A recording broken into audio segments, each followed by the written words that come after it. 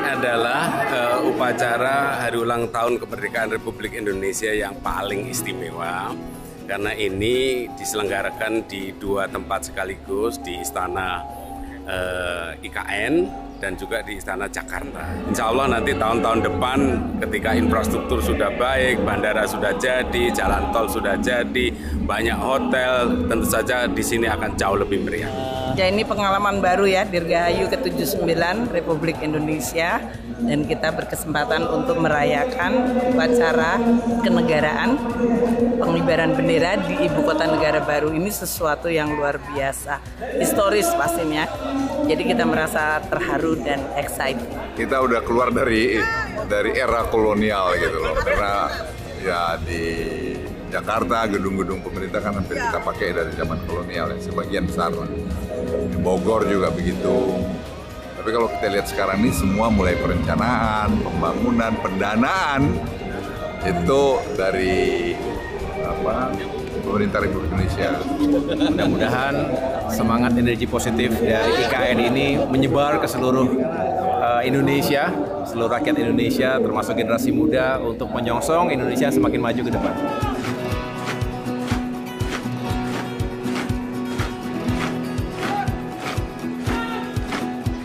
Deg-degan banget kak. Apalagi kan uh, saya tuh di serpian kiri tuh yang paling banjar paling kanan tugasnya itu mau uh, mengodekan ke teman-teman yang lain untuk turun tangannya itu harus serempak jadi awalnya tuh saya takut banget takut uh, hitungan yang nggak pas tapi alhamdulillah sekali ternyata tadi hitungannya pas.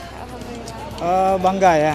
Sangat bangga karena memang ini momen pertama dan kita masyarakat biasa diundang ke sini uh, kami berharap uh, eh, IKN terus berlanjut uh, sehingga ini juga berdampak khususnya masyarakat yang ada di Kalimantan. Perasaan saya sangat luar biasa, sangat senang sekali, sangat bangga sekali karena semenjak uh, perayaan Hari Kemerdekaan itu tidak pernah ikut karena memang dirayakan di Jakarta. Nah ini baru dirayakan pertama kali di IKN. Kebetulan kami warga sekitar IKN ini makanya sangat bangga sekali.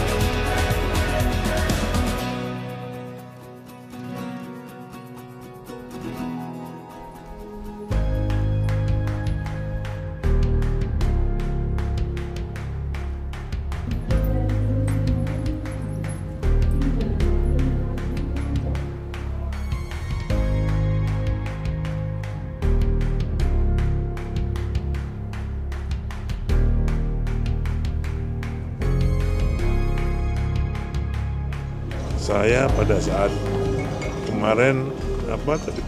Bahkan saya untuk pada saat upacara pertama begitu pasukan masuk saya sudah sudah dan nangis. Ternyata kita bisa untuk melaksanakan itu ya. jadi saya sangat bersyukur kerja keras kita semua, kerjasama kita semua bisa apa, melaksanakan misi dan visi Bapak Presiden demi untuk pembangunan bangsa ke depan. Uh, tentu saja ini pengalaman yang benar-benar berharga bagi kami anak yang Kalimantan karena yang biasanya kita cuma bisa lihat di TV dari Jakarta kita bisa menyaksikan sendiri upacara yang tingkat nasional itu seperti apa meriahnya dan juga megahnya gimana. Luar biasa bangga. Sebagai kota Balikpapan ya, yang juga dikenalnya sebagai teras Ibu Kota Nusantara, pastinya sangat senang dengan adanya Ibu Kota Nusantara juga memajukan daerah-daerah sekretariat, terutama Balikpapan. Berpotensi tidak hanya untuk wisatanya, tetapi juga pembangunan dan lainnya.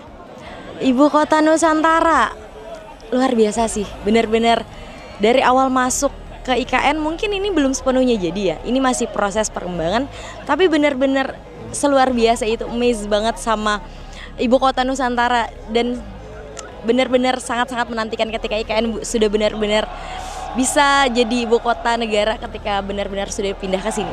Rasanya kita amazed sekali karena memang kita sudah lama menantikan akhirnya bisa datang ke sini, apalagi di sini ada view yang keren banget di sini. Even kita bisa lihat sunset dan sebagai masyarakat Indonesia kita seneng lah bisa ada pemerataan sekarang masuk ke Kalimantan juga.